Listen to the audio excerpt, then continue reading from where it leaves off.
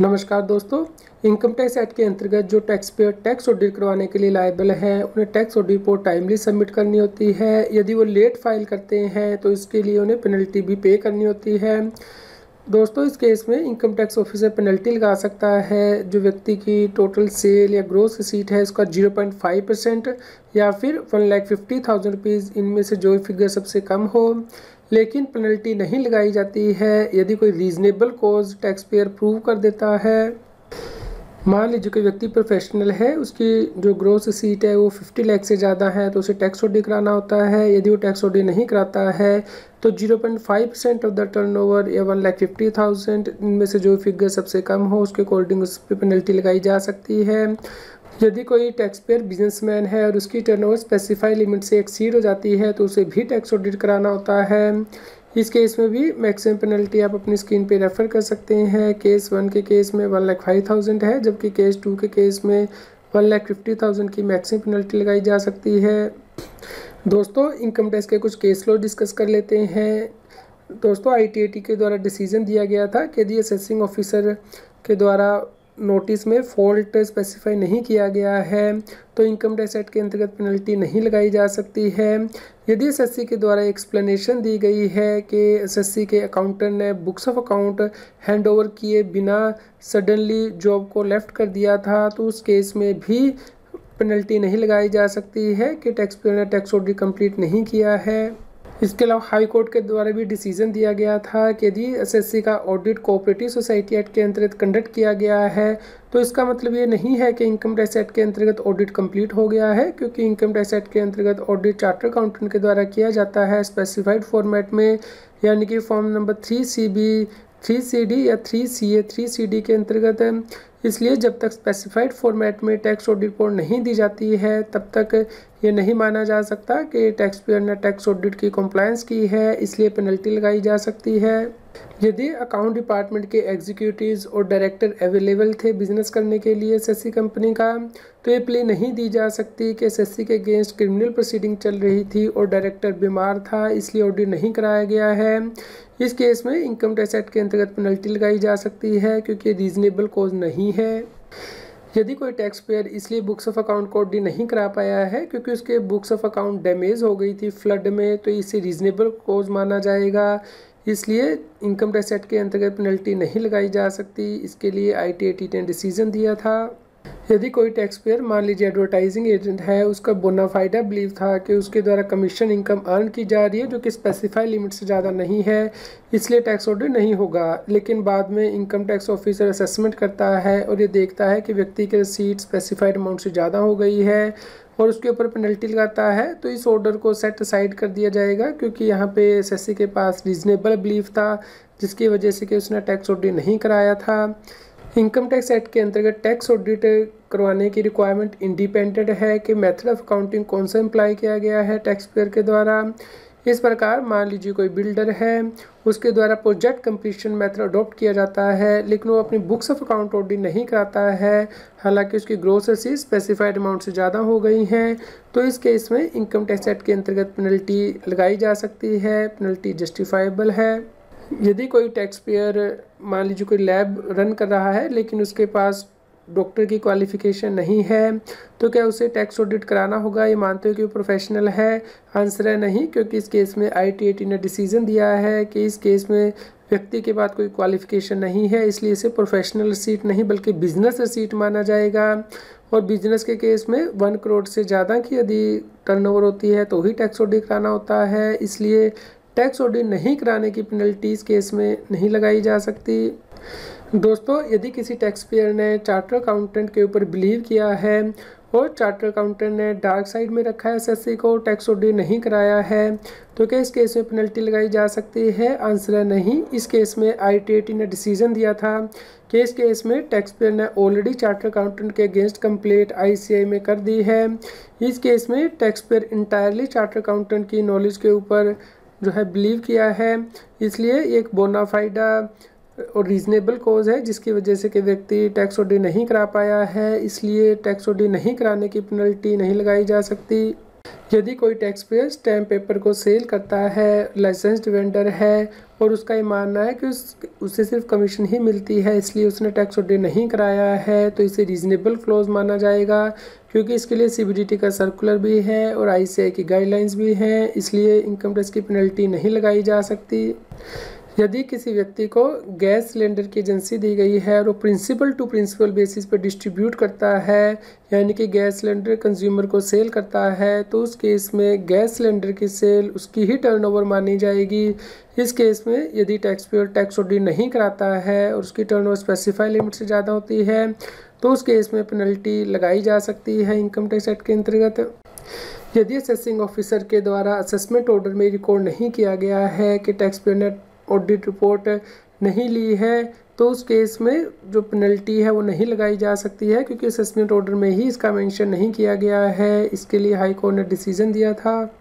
यदि बिल्डर के द्वारा कंपनी एक्ट के अंतर्गत ऑडी रिपोर्ट फ़ाइल की गई है, लेकिन इनकम टैक्स एक्ट के अंतर्गत कोई सेपरेट ऑडी रिपोर्ट फ़ाइल नहीं की गई है तो इनकम टैक्स एक्ट के अंतर्गत पेनल्टी नहीं लगाई जा सकती। इसके लिए आई ने डिसीज़न दिया था।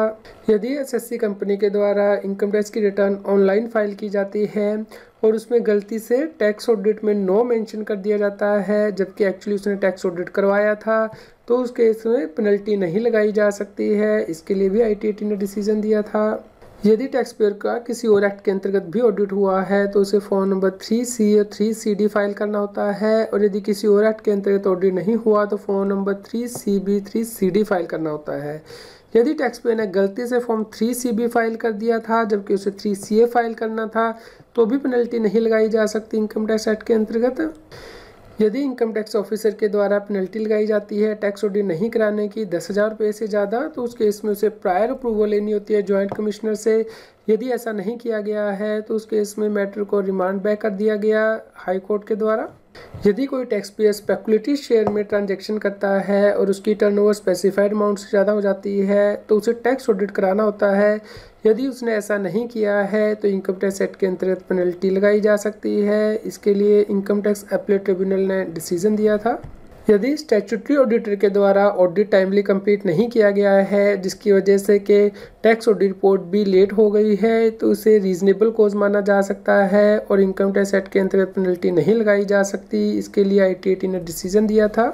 यदि एसएससी के द्वारा proper books of account maintain किए गए हैं पार्टनरशिप बिज़नेस के, लेकिन ऑडिट नहीं कराया गया, क्योंकि अकाउंटेंट एबसेंट था तो ये प्ली एक्सेप्ट नहीं की जा सकती और इनकम टैक्स एक्ट के अंतर्गत पेनल्टी लगाई जा सकती है टैक्स ऑडिट नहीं कराने के लिए। यदि व्यक्ति के द्वारा फ्यूचर कॉमोडिटी में ट्रेडिंग की गई है, जहाँ पे कि एक्चुअल डिलीवरी नहीं होती है तो भले ही अमाउंट स्पेसिफाइड अमाउंट से ज़्यादा है तो भी टैक्स ऑडिट करवाने की आवश्यकता नहीं होती है। इसलिए पेनल्टी नहीं लगाई जा सकती। आई ने इसके लिए डिसीज़न दिया था। यदि टैक्स पेयर के केस में ऑडिटर अपॉइंट किया जाना है रजिस्ट्रार के द्वारा या फिर स्टेट गवर्नमेंट के द्वारा और जिसकी वजह से कि डिले हो जाता है तो इनकम टैक्स एक्ट के अंतर्गत पेनल्टी नहीं लगाई जा सकती, कि टैक्स पेयर ने टाइमली टैक्स ऑडिट नहीं कराया था। यदि एस एस प्रोफेशनल है और उसे पार्टनरशिप फर्म से सैलरी मिलती है या रेमिनेशन मिलता है तो बिज़नेस एंड प्रोफेशन हेड के अंतर्गत टैक्सेबल होता है।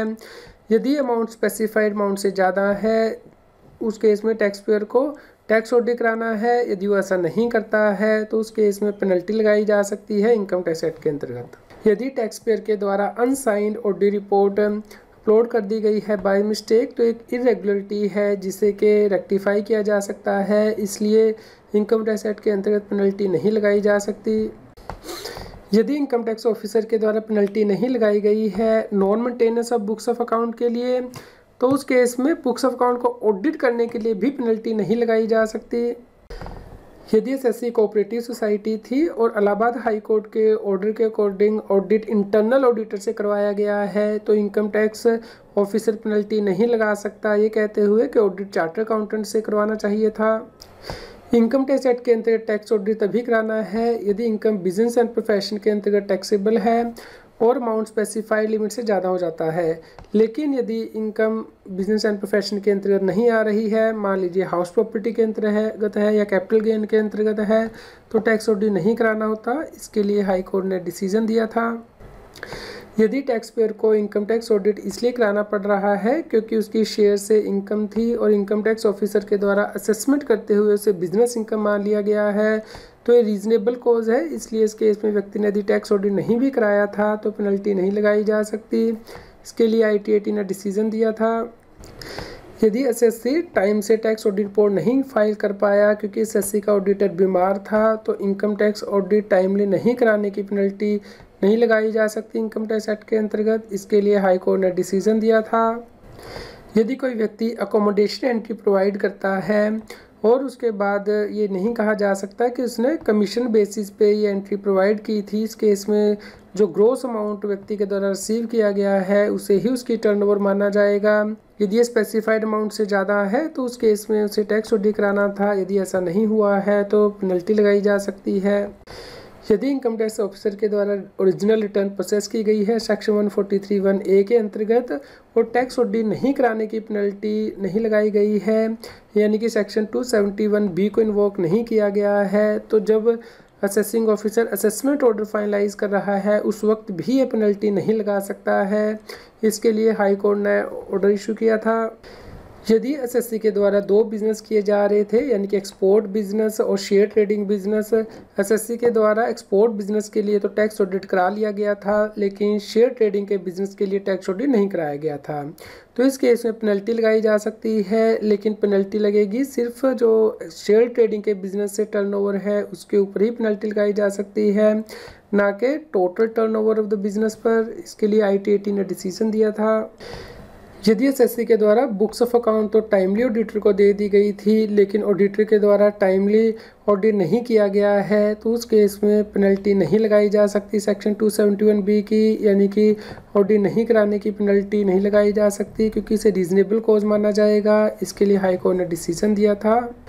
दोस्तों, इस प्रकार यदि आप timely books of account audit नहीं करवाते हैं तो पेनल्टी लगाई जा सकती है, लेकिन यदि आप रीजनेबल कोज प्रूव कर देते हैं तो पेनल्टी नहीं लगती है।